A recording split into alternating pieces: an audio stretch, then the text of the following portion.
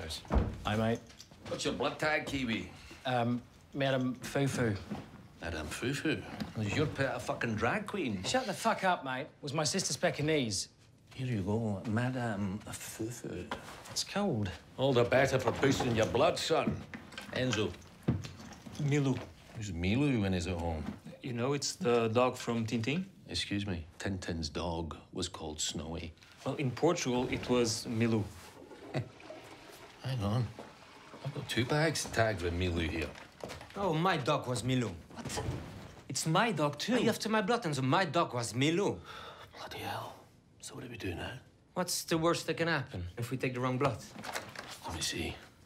The same blood type, so small chance of complications. Yeah, like what? There's always a possibility of an allergic reaction. And that's it, like no other possible side effects.